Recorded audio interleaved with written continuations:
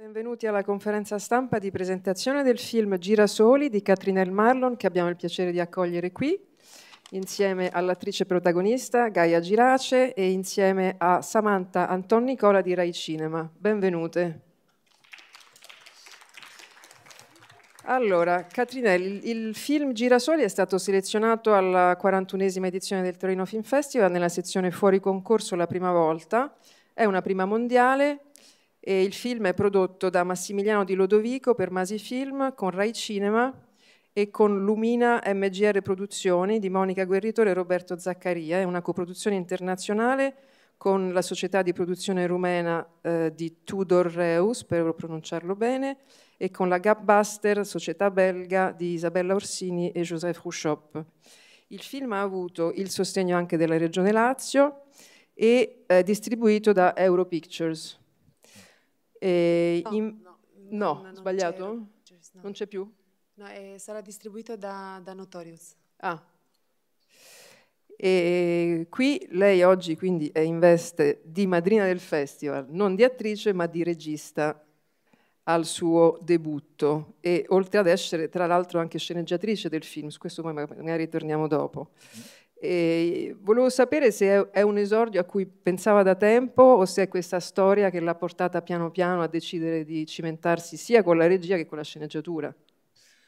Allora, buongiorno. Ehm, diciamo che la pandemia ha suscitato eh, no, in noi, non so chi, chi- chi si è buttato sulla cucina, chi si è buttato nello studio, sotto altre forme. E io durante la pandemia, più che altro durante il lockdown, ehm, ho pensato a dedicarmi a una nuova strada e dico una nuova strada perché il lavoro che stavo svolgendo tra la moda e fare l'attrice mi portava sempre a viaggiare tantissimo e, e mi trovavo comunque in una condizione familiare dove avevo anche paura per quello che sarebbe successo un domani, non sapevo neanche come si sarebbe uscito da, da quel contesto di forse sarà la fine del mondo. Vivevamo così in Italia quel periodo lì, poi dipende anche accanto a chi lo vivi, no? Quanto è ipocondriaca la persona accanto a te. E, e a quel punto avevo deciso di, di trovare un nuovo lavoro e dedicarmi a qualcosa che mi portava a essere vicino alla mia famiglia perché avevo capito in quel mo- momento che era la cosa più importante per me. E allora mi sono messa, cioè ho riflettuto sul fatto di rimanere sempre in un ambito artistico eh, e a quel punto, avendo anche il mio compagno che fa il produttore, ci siamo guardati e ho detto io mi metto a studiare regia, ma non avevo mai pensato a diventare una regista di cinema o eh, sì, di cinema, ma col mio pensiero andava sempre verso la moda perché era un ambito, eh, in cui, un ambito in cui ho lavorato per più di vent'anni e sono una persona molto creativa e, e quello era il mio sogno in quel momento. Perciò ho iniziato a fare diversi corsi online, poi usciti dalla pandemia ho iniziato ad andare anche sul set a affiancare altri registi e a fare la mia, eh, la mia non gavetta, ma il mio percorso di studio, no? Ehm, è successo che eh, mangiando poi ti viene la, la voglia di mangiare ancora di più e, e ho trovato anche il la soddisfazione e curiosità in quel nuovo tipo di lavoro e, e dalla pubblicità ho detto vabbè ma mi butto anche su una forma un po' più grande che può essere un cortometraggio. E a quel punto, eh, proprio perché non vengo dalle scuole, e- ma da un'esperienza e comunque sto ancora studiando, ho deciso di, eh, di concentrarmi su un tema ehm, di, di- di questo cortometraggio che era una- un tema vincente, perché ho detto, ok, almeno propongo una cosa che io lo so molto bene. E, e ho scritto, avevo l'idea di fare il film sulla malattia mentale sul cortometraggio, poi vi racconterò perché. eh, e eh, la storia era troppo bella per essere, mm, mi spiace dire buttata lì, ma sappiamo che i cortometraggi hanno una vita molto breve. Eh, e ho voluto, ho detto no, non voglio usare questo tema, lo userò su un lungometraggio. Vedi che mio compagno all'epoca mi ha detto, ma eh, sei sicura? Ma stiamo parlando di fare un corto, tu stai già pensando a un lungometraggio? Ho detto un giorno, è perché secondo me ci sono tantissimi temi che girano in, intorno alla malattia mentale che eh, è un peccato non raccontarli in un film lungo e buttarli su un corto, no? che col corto hai poca vita, fai pochi festival, non vanno al cinema, non hai una, un, un, pubblico ridotto, diciamo. E senza farla lunga, cioè avrei tantissime cose da raccontarvi, Girasoli è la sintesi di uh, due esperienze molto forti della mia vita uh, che mi hanno insegnato ma che mi hanno anche segnato. E, e, queste sono la mia permanenza, diciamo, in questo posto che si chiamava settimanale. C'è una persona della Romania qua dentro, prima che ho salutato, che sa benissimo cosa vuol dire settimanale, è una specie, non dico di orfanotrofio perché io i genitori ce li avevo all'epoca e la parola è un po' inesatta, però il settimanale era un posto dove tu lasciavi il tuo bambino perché eh, non avevi le condizioni di eh, crescerlo, però i genitori esistevano e io purtroppo ho avuto questa esperienza, ho vissuto questa esperienza per i primi miei tre anni di vita. Uh, l'altra esperienza che mi ha segnato è uh, quella di vivere il manicomio rumeno, l'ospedale psichiatrico in Romania, e vivere mia zia là dentro perché lei uh, purtroppo per un problema di, di emozione forte, eh, col disagio della morte di suo papà, che era il mio nonno, ne avevo sette anni, è impazzita. Così da un giorno all'altro, con, tu, con tutto il supporto che aveva da parte della famiglia, lei non ha più avuto il controllo alla testa, perciò ha vissuto parte della sua vita in questo posto terribile che esiste ancora oggi um, dove non si fanno ovviamente quello che si faceva da voi in manicomio, tipo l'elettroshock ai genitali ai bambini perché facevano la pipì a letto, o uh, cose che non, magari non ric- vorrei ricordare adesso, ma sappiamo benissimo quello che stava succedendo negli anni fino nel 78, anzi forse fino negli anni 70. Ma è ancora aperto questo posto? Allora, uh, c'è una legge in Romania, c'è una legge che dice eh, che puoi portare, anzi, non puoi portare il tuo malato. La famiglia non ha il diritto di chiudere questa persona come facevano qui in quegli anni là quando il marito chiudeva la moglie, però eh, purtroppo la, la, persona deve commettere un reato. Attraverso il reato viene arrestato dalla polizia e poi portato dentro il manicomio. La legge del manicomio, che lo chiamo manicomio, questo ospedale psichiatrico in Romania, prevede una permanenza di tre mesi dentro e in questi tre mesi i dottori stanno provando di eh, fare diverse cure.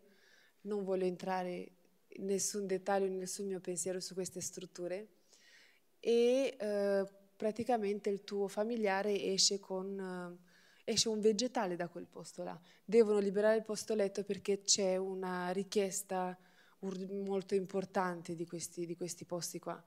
E, però finisce che il malato esce fuori, magari eh, non prende le pillole o per altri problemi, ci ricasca sempre, perciò c'è sempre un via vai con questi posti, più o meno sono sempre le stesse persone che, che girano là dentro. E io quel posto l'ho vissuto eh, per tantissimi anni, un po' anche per il fatto che non so perché, ma sono stata l'unica della mia famiglia accettata da mia zia e, ed ero l'unica che non era giudicata. Uh, tendeva a giudicare sua sorella, tendeva a giudicare la madre, che non si comportava bene col marito, non lo so, nella sua testa uh, c'erano tanti problemi che soltanto lei uh, si li poneva, ecco. E, e a quel punto andavo io volentieri a trovarlo e ho provato anche a trovare una formula di vedere quel posto non soltanto un posto da disagio e anche io entrare in quella cosa emotiva di sentirmi uh, male no? per quello che stavano soffrendo là, ma di vedere il lato buono di quel posto. il lato buono era uh, quello di ascoltare le storie dei malati, quello di guardarli, quello di portarli magari ogni volta che ci andavo di nascosto qualche cosa dolce, non si potevano portare i zuccheri perché erano così eccitanti, io li portavo sempre di nascosto. E loro in cambio, cambio di sigarette, e loro in cambio mi davano tantissimo, mi davano sorrisi, mi, davano raccon- mi raccontavano delle cose. Addirittura, racconto questo, tanto ormai per arrestarmi dovranno venire in Italia a prendermi. E um, un certo punto che poi è partito da qua, da Torino, mi, mi, mi, dovete fermare perché sennò parlo solo io in questa conferenza. Sì, okay, okay. La fermerò e, e, poi faremo anche, vedremo se ci sono delle domande. Okay. Però volevo anche allora, fare due domande. La, la chiudo brevemente. Allora, questo, questa storia comunque da, da, quel, da, Torino è partito tantissimi anni fa, eh, un concorso molto importante, adesso non mi ricordo esattamente chi l'aveva messo online, eh, sul delle mani. E, e, io andai proprio nel manicomio a, fare, a fotografare le mani eh, sul viso di, di, questi matti, erano bellissime e avrei intitolato questa mostra eh, Una mente colorata e avrei lasciato le foto a colori perché foto bianco e nero sono tante, sono belle, però a colori è difficile, ma loro erano così belli. A colori, una mostra che ho chiesto all'ospedale di aiutarmi a sostenere, nel senso di darmi l'approvazione di farla, e non hanno voluto, anzi mi hanno messo interdizione nel manicomio rumeno e, di, di, quella città. E, e, vabbè, e ho fatto una mostra poi di nascosto, ecco, e l'ho presentata così. Va bene, io volevo, poi torniamo su queste cose, volevo intanto chiedere a Gaia come è andata questa esperienza che immagino deve essere stata comunque molto difficile, molto intensa, come hai lavorato questo ruolo? Allora, ehm, prima di tutto sono stata molto contenta che mi sia stato proposto questo lavoro perché mi ha dato la possibilità di toccare con mano un argomento molto delicato che mi ha sempre colpito molto. Questo ruolo è stato molto difficile e io quando ho letto la sceneggiatura ho pensato subito che sarebbe stato molto stimolante per me ehm, rappresentare uh, un personaggio così, così lontano e, e, che avrei dovuto studiare molto uh, per, per, raggiungere e per interpretarlo. E, mm, infatti cos'è stato? Ho preparato questo ruolo con, Daniela, con la coach Daniela Tosco, con cui ehm, ho fatto un bel lavoro di, di, preparazione, ci siamo ispirate agli studi delle tarantolate di De Martino e ehm, delle ragazze che tra gli anni 60 e 70 venivano considerate pazze quando erano solo affette da disagi personali come eh, depressione, mestruazioni. Quindi è stata la mia prima fonte di ispirazione, oltre poi a tanti, eh, tanti film ambientati nei manicomi e non, ehm, Ragazze interrotte, Aula di Ignacio Tatà e um, Quadri e figli di Muccino, è stato questo il lavoro, è stato un lavoro molto meticoloso. Lungo immagino, perché comunque c'è... Beh sì, abbastanza, soprattutto è stata, è stata una questione di, di equilibri, è, mm. è, un tema molto delicato, quindi gli equilibri erano fondamentali in tutto. Samantha, eh, generalmente le, le coproduzioni eh, con, in degli esordi sono, sono, possono essere rischiosi. Che cos'è che vi ha convinto che questa cosa poteva funzionare? Buongiorno a tutti. Non so se è acceso, no? Ah, ecco, buongiorno, buongiorno. Allora, eh, perché ci siamo convinti? Perché uh, Catrinella ha cioè una cosa era sicura di questo film, che il suo approccio era mh, mhmm, al 100% molto autentico, perché frutto di una sua esperienza vera, quindi di un suo vissuto, quindi per lei era un film veramente necessario, quindi a prescindere dalla bontà della sceneggiatura che c'era, però non era un racconto freddo, un racconto della mente, era un racconto del cuore di Catrinella, dove Mhmm, si avvertiva e si capiva che lei sapeva di che cosa stava parlando. Quindi c'erano questi tre fattori molto importanti perché sì, la follia, il disagio, i bambini soprattutto, l'approccio con i bambini e comunque all'interno di questo contesto una storia d'amore, non un compito su questo. E quindi era molto palpitante come film e si sentiva che non c'era menzogna dentro. E quindi ci ha convinto per questo. Eh, ma infatti l'autenticità eh, si sente tanto e immaginavo fosse questa la chiave. Io ho ancora un'infilata di domande, però vediamo se il pubblico anche ha qualche domanda da porvi.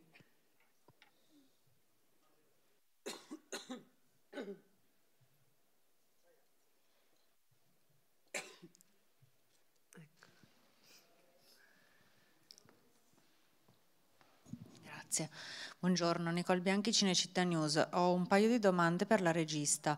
Eh, vorrei sapere come, ave, come, hai, come, avete lavorato sull'espressività, soprattutto dei bambini, appunto perché sono molto realistici e mh, insomma eh, introiettare un tipo di, di, dolore, di malattia del genere non è affatto facile. E poi volevo domandare il lavoro invece sulla figura di Monica Guerritore, che era un medico progressista, lei dice espressamente nel film che avrebbe voluto chiudere i manicomi, è una donna che fuma in mezzo a un consesso di uomini, quindi mi interessava capire questo, grazie.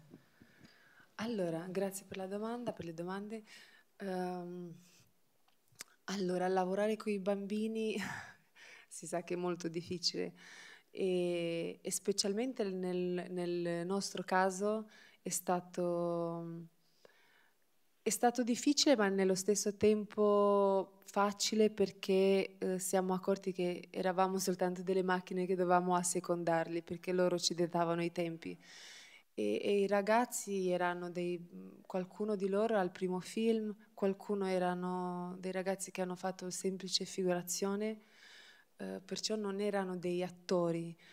E, però questa innocenza, diciamo, eh, Uh, ce l'hanno trasmessa, ma anche il fatto di raccontare, cioè io avevo deciso, ecco, per non far diventare un documentario di, uh, di, di, di te- tenerlo più leggero possibile e raccontare la storia dentro il padiglione del manicomio con dei bambini irrecuperabili. E questo mi ha portato a lavorare, no, a raccontare delle patologie che in realtà non erano molto forti e anche loro eh, non dovevano, eh, cioè erano più facili da, da, lavorare con loro, ecco, gestirli e raccontarli come comportarsi, che cosa portava le, le loro patologie. Poi siamo stati fortunati, c'è stato un momento di panico il primo giorno, eh, a un certo punto noi eravamo al ex ospedale Forlanini sottoterra, abbiamo costruito tutto quel set che avete visto, d'inverno molto freddo e il primo giorno c'è stato il panico perché dopo eh, una giornata di riprese questi bambini coi piedi nudi hanno iniziato a piangere e chiedevano ai genitori mamma portaci via, ho detto è finita. Questo film muore qua nel primo giorno e invece eh, sono tornati anche il secondo giorno e poi si è creata veramente una complicità e una cosa molto bella sul set tra tutti noi eh, che è stato veramente difficile poi lasciarci e ogni giorno che un, ogni bambino finiva il film c'era un fiume di pianti da parte di tutti i reparti perché ti vedevi questi nanetti che arrivavano e piangevano e ti dicevano grazie per questa esperienza. È stata veramente la parte più difficile forse del film con tutte le cose che ci ha portato questo film eh, Covid sul set, io che mi sono rotta la gamba e sono stata alla sedia a rotelle per due settimane. E abbiamo fatto di tutto a non fermarci perché è un film comunque low budget e, e non potevamo fermarci. Ecco. e l'altra domanda, mi scusi, a Monica. Certo, Monica, eh, di fronte a Monica, l'ho detto anche ieri, è, è ovvio che eh, mi sentivo un po' insicura, ecco, perché comunque un'attrice con la maiuscola, io sono un esordiente, sono un'allieva, sono una principiante, e, però ero sicura su, su dove volevo parare, ecco. e, e, e è successo di scontrarmi con lei sul set, eh, non nego, ma scontrarmi nel modo in quale lei mi proponeva delle altre alternative e, e, non ero sicura che non era giusto quello che stava dicendo, perciò abbiamo provato a, a, fare quello che voleva lei e poi a indirizzarla su quello che volevo io. Poi alla fine abbiamo montato quello che volevo io. e, però no, la cosa più bella è che l'altro giorno Monica non la vedo da un po' di tempo, mi ha, mi ha, fatto una dedica online sui social, per me è stata una cosa molto importante, ma poi mi ha lasciato questo messaggio vocale dove mi ringraziava per il ruolo, poi detto da lei, e poi per come ho portato questo film no? Dal, dall'inizio alla fine, perché nessuno sapeva in realtà come sarebbe finito. Eh, non era molto chiaro in sceneggiatura, anche perché continuavo a cambiare il finale e avevo diversi messaggi che volevo dare. Eh, e sì, è stato poi una sorpresa. Gaia ancora non ha visto il film, ma in realtà nessuno del cast ha visto il film, ma anche il cast tecnico, nessuno, solo i nostri coproduttori, io ci ho lavorato per mesi al montaggio e perciò sarà una sorpresa per tutti loro, sono curiosi ecco, del risultato. Io spero che a voi piaciuto e, e che avete eh, trovato dei diversi temi subliminali no? in questo film di epoca, ma ha tantissimi temi attuali e, e bisogni no? su quali ci dobbiamo concentrare oggi, l'attenzione verso chi ci sta accanto e l'amore che può essere una forma di uscita, ma non... No? Vediamo, abbiamo dei esempi no? che sono successi anche nelle settimane scorse l'amore è bello, però dobbiamo anche saperlo coltivare, dobbiamo ascoltare quello che ci sta accanto, dare più attenzione anche a quelli che stanno intorno a noi, non soltanto a noi stessi, perché tendiamo di fare quello, mm. ma perché la società che ci sta... No? C'era un'altra domanda? Buongiorno, eh, Carlotta Pegollo, Cinedams.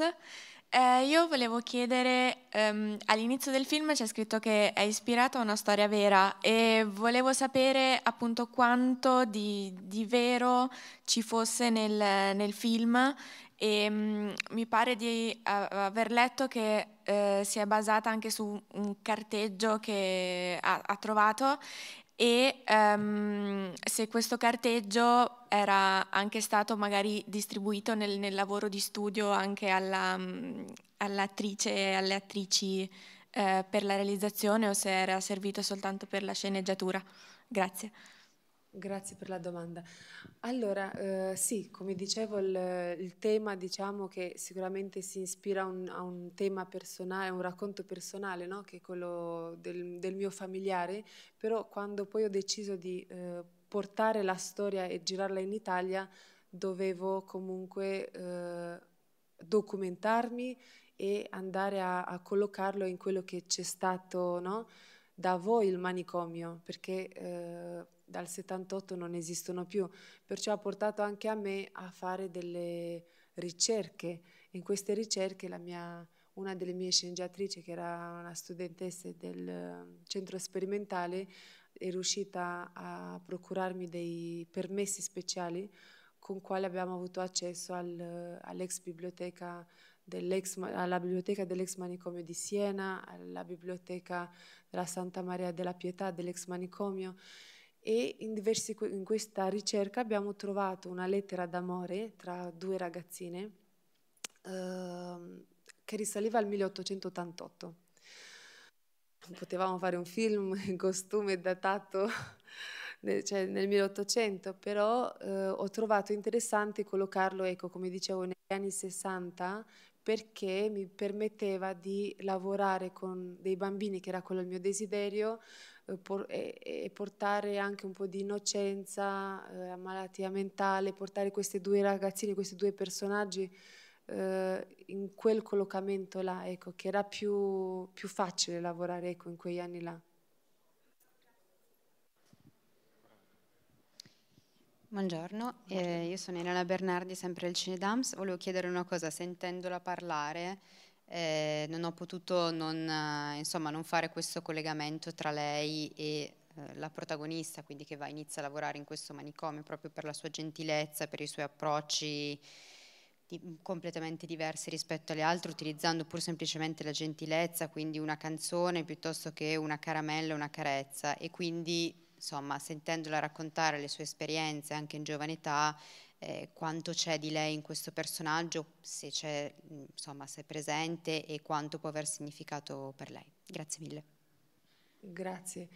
E, ehm, beh, ci sono tanti aspetti eh, dalla storia delle due ragazze alla storia del manicomio, senza entrare nei dettagli che rappresentano la mia vita.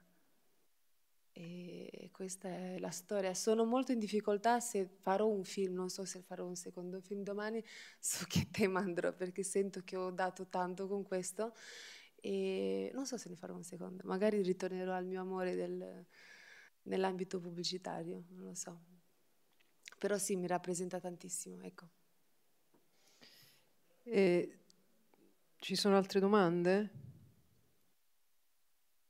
Io volevo fare un'ultima domanda, poi dobbiamo chiudere sulla scrittura, sulla sceneggiatura, perché ho visto che eh, lei si è accompagnata di una giovane e di un'esperta. È stata una scelta pensata, immagino. Certo, eh, allora è stato un lavoro sia a sei mani, una revisione fatta dopo, eh, dopo il lavoro che avevo fatto con, ehm, con Francesca. Eh, sentivamo che avevamo una, una sceneggiatura bella, ma non eravamo sicuri, uh, sicure se uh, era giusta. E se era giusta nel senso se, era, se aveva abbastanza forza ecco, per, per poi essere girata e abbiamo deciso, avevamo scelto tre sceneggiatrici fortissime in Italia, abbiamo deciso di andare da una donna, no? proprio per avere una certa sensibilità e eh, di queste tre quella che ci ha risposto più facile, Heidrun Schleff era una delle nostre preferite. Devo dire che è stata una anche che, che ci hanno detto no, ma Heidrun è molto tosta, vedrai che non ti risponderà. È stata prima che ci ha risposto e, e con quale mi sono trovata veramente bene. Abbiamo fatto un lavoro che poi è stato fatto, disfatto e siamo ritornati a, a, anche a una uh, sceneggiatura, eravamo arrivati, non so, alla settima, forse ottava sceneggiatura, ma siamo ritornati sempre perché continuava a aggiungere delle cose e ci siamo accorti che l'idea, la prima forse era quella vincente. E lei ha fatto una revisione poi sulla prima sceneggiatura che noi avevamo scritto. Ed è stato molto interessante, sì, avere anche l'approccio suo, ecco. Va bene, dobbiamo chiudere. Grazie tante per aver condiviso il suo lavoro con noi e grazie sia a Gaia che a Samantha e buon festival. Grazie a tutti. Grazie.